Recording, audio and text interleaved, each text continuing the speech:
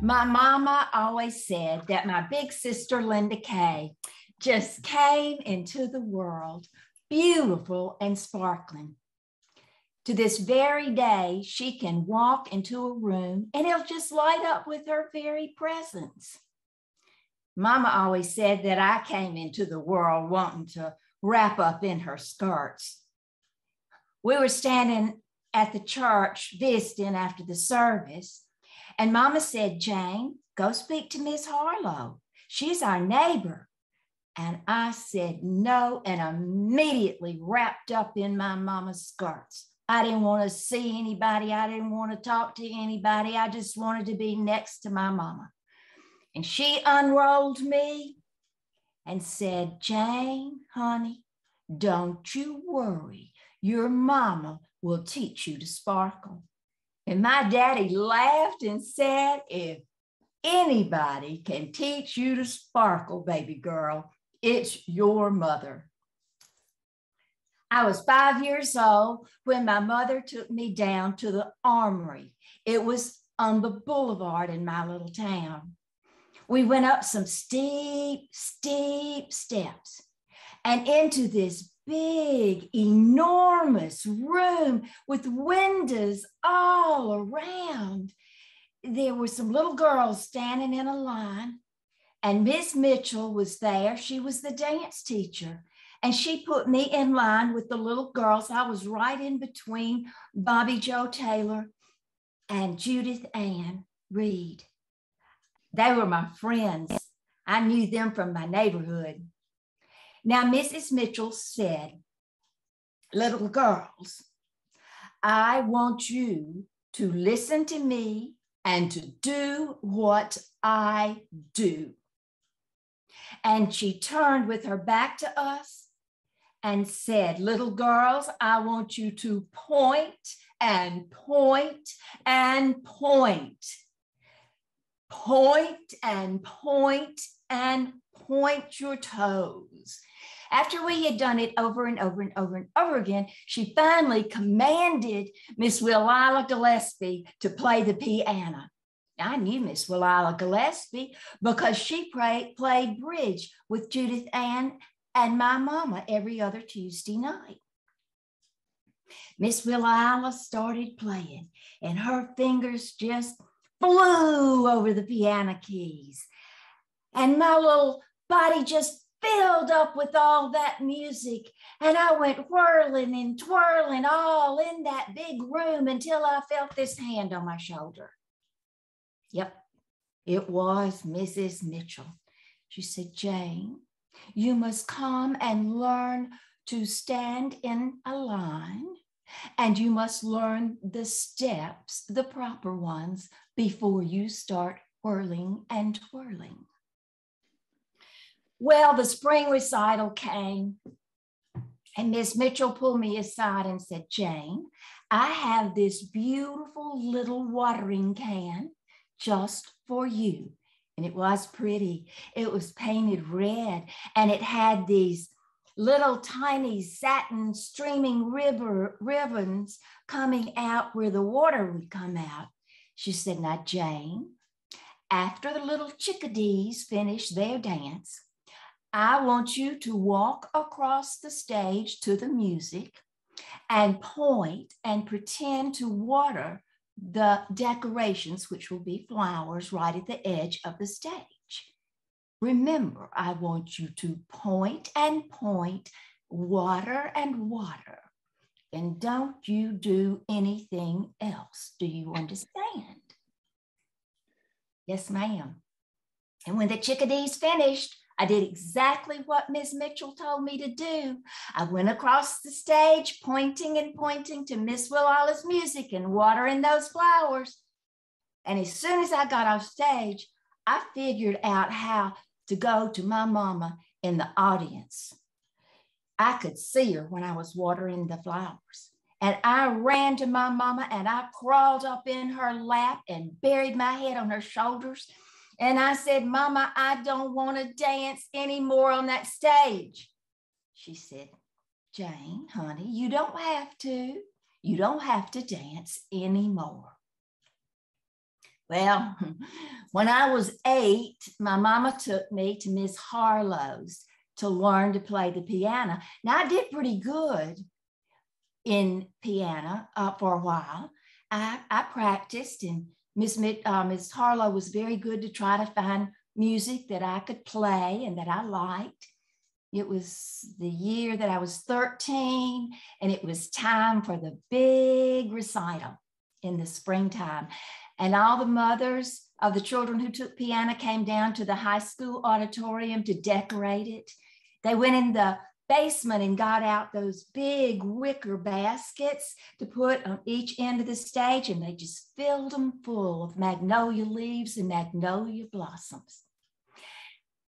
And the janitor of our school came and pushed the baby grand piano just in the place Mrs. Harlow always wanted it and just at the right angle. Well, that night, my mama let me wear my big sister Linda Kay's green net evening gown. It was the one that Linda Kay had worn up to had worn to the Miss Hospitality contest in my little town. And she won Miss Hospitality and got to go to the state contest. And she wore the dress there, and she was chosen as first alternate to the Miss Hospitality State of Mississippi contest. Well, I was so pretty in that green net evening gown. And I walked out on the stage to play the piano. And I sat down and as I began to play the introduction, I realized that was all I remembered of the piece. But I did remember that my mother had said, whenever you are on stage, Jane, you treat the audience just like they are a guest in your home. You make them comfortable. So I played the introduction through six times. And I gave a grandioso chord. I stood up and I bowed and smiled at everyone. That night, after it was all over, and I ran to my mama, I knew I was too big to wrap up in our skirts, but I sure did want to. And mama said, Jane, I don't believe you'll be needing any more piano lessons. And my daddy said, honey, your piano piece was the best of all of the piano pieces played tonight. It was by far the shortest one. Well, I didn't have any more piano lessons. Mama decided that expression would be a good thing for me to learn about. And so she took me to Miss Kay Evans's great big antebellum home that was down at the other end of the boulevard from the armory. I loved Miss Kay. When I went into her home, there was a huge picture of somebody that was in her family, an ancestor. And she had a wonderful story that she told me about that ancestor. And then she would pick up a piece of um, silver and start a story about it. There was a story about everything in that house. And she found things for me to learn expression on, like we called them readings. I guess they're kind of like monologues now, and poems.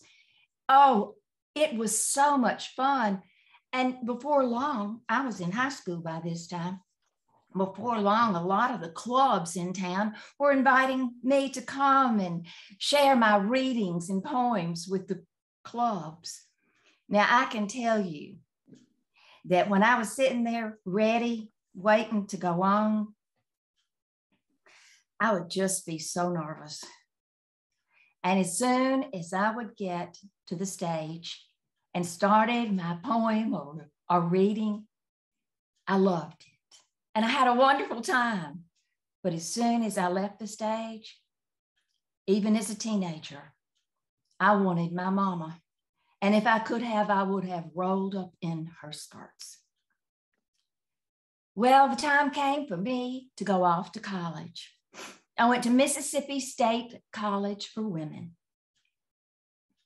And I joined a social club. We did not have like sororities, but the social clubs were to help the freshman girls learn to find a place on campus. They introduced us to all the clubs and tried to help us get a, a good grounding in school.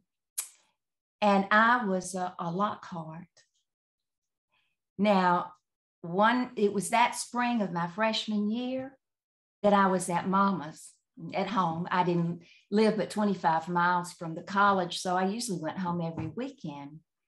And the phone rang and I answered it. And it was the man from the Exchange Club. And he asked me to be in the Miss Aberdeen pageant. I said, Oh, well, that, oh, well, um, uh, just a minute. And I went running for my mama. I said, Mama, Mama, there's a man on the phone wants me to be in that Miss Aberdeen contest, and I don't want to do it. She said, Well, honey, you don't have to. Well, what I tell him, just tell him you can't do it. Okay. So I went back to the phone and I said, Thank you so much for inviting me to be in the contest, but I simply cannot do it this year. And he said, Well, Jane, I'm so sorry to hear that. I said, Well, well, well I'll do it next year. Where did that come from?